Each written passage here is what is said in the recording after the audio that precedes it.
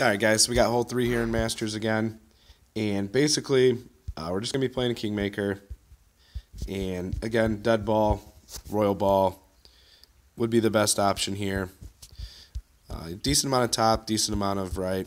And we're basically going to look at about, going to play at about 15 miles an hour.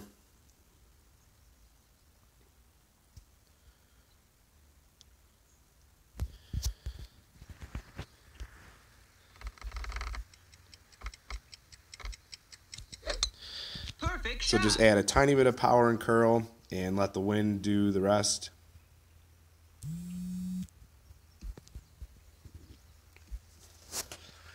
So perfect shot. Just put ourselves up for a uh, you know good second shot with the sniper here, and we played a little bit too much right spin last time, especially with the wind.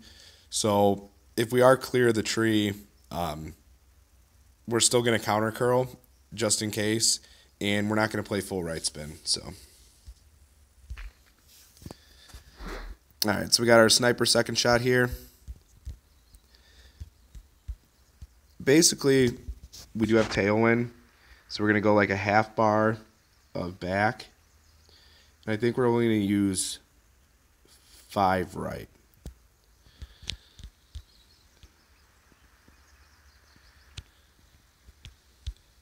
We'll adjust one to one.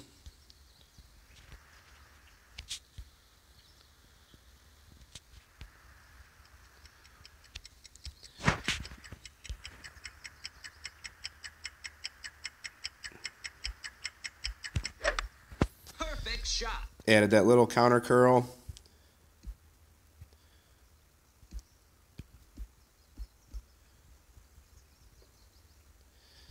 Mm. Nice on.